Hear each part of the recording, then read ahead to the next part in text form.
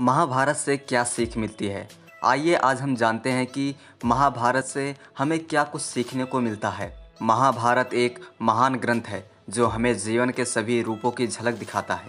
ये ग्रंथ परिवार, समाज, राज्य, धर्म और नीति से जुड़ा पाठ पढ़ाता है और वर्तमान समय में भी जीवन को सही तरीके से जीने और सही निर्णय लेने में ये ग्रंथ सहायक हो सकता है। इसके लिए ज़रूरी है कि हम इस ग्रंथ से कुछ ज़रूरी सीख लें, ताकि हमारा जीवन सरल और सुगम बन सके। ऐसे में आज महाभारत से कुछ खास सीख लेते हैं तो चलिए जानते हैं महाभारत से मिलने वाली सीख के बारे में। पहली बात, अपनी संगत पर ध्यान दें। महाभारत में दुर्योधन को उसके मामा शकुनी की गलत संगत मिली, जिसने उसका पतन कर दिया। ऐसे ही जीवन में अगर आपकी संगत सही होगी तो आपका जीवन सुधर जाएगा, और अगर आप बुरी संगत का चुनाव करेंगे तो दुर्योधन की तरह पतन निश्चित है। नंबर दो, जीवन में सही रणनीति का महत्व है।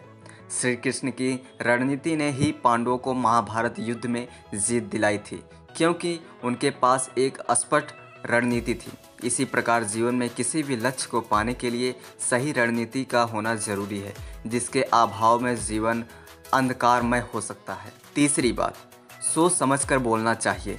महाभारत युद्ध में द्रौपदी द्वारा कहा गया ये कथन, अंधे का पुत्र अंधा, महाभारत के युद्ध का एक प्रमुख कारण बना, और इसके बाद परिवार, समाज और राष्ट्र का पतन होता चला गया। इसलिए ये ज़रूरी है कि अपने विचार रखने से पहले सोचा जाए कि कहीं मेरे शब्दों से कोई आहत तो नहीं हो जाएगा।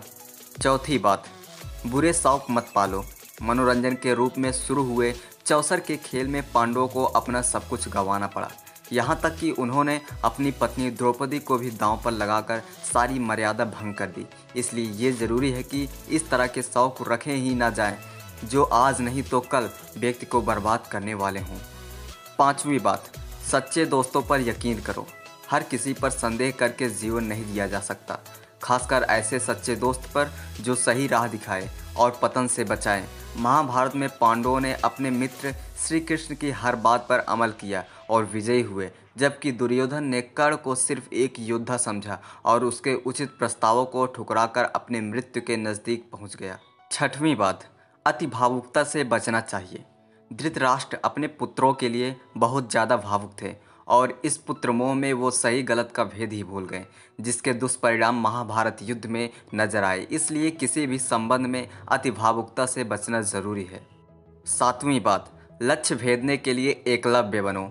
अगर आप अपने जीवन में लक्ष्य भेदना चाहते हैं तो एकलव्य जैसा जज्बा रखना होगा। एकलव्य की मेहनत और लगन ने उन्हें अर्जुन से भी महान धनुर्धर बना दिया था, क्योंकि एकलव्य ने मार्गों में आने वाली किसी भी मुश्किल के आगे झुकना नहीं स्वीकारा। आठवीं बात, हर गलती की माफ़ी नहीं होती। महाभारत में युधिष्ठिर दंड की बजाय माफ़ी के पक्षधर थे, लेकिन उनके इस दृष्टिकोण ने उन्हें बहुत बार आहत किया। यहाँ तक कि भीष्म पितामह ने उन्हें उपदेश दिया कि राजधर्म में दंड की ज़रूरत हमेशा होती है। दंड न देना सबसे बड़ा अपराध होता है। इसी तरह हमारे जीवन में भी अक्षमय गलतियाँ की माफ़ी देना बहुत बड़ी भूल साबित हो सकती है। दोस्तों, महाभारत अपने आप में जीवन का सार है, जिसका हर प्रसंग कोई ना कोई सीख ज़रूर देता है। यहाँ हमने कुछ प्रमुख सीख की बात की और हमें उम्मीद है कि आपको ये जानकारी पसंद आई होगी। और महाभारत से सीख लेते हुए अपने जीवन को बेहतर बनाने के लिए प्रेरित भी कर पाई होगी। तो दोस्तों, आज के लिए बस इतना ही। फिर मिलते हैं कुछ और ऐसे ही जानकारियों के साथ। और हाँ अगर आप हमारे चैनल पर नए हैं तो चैनल को सब्सक्राइब कर लें और बेल आइकन को भी दबा दें। वीडियो को लाइक कर दें और इस वीडियो को ज़्यादा से ज़्यादा शेयर करें।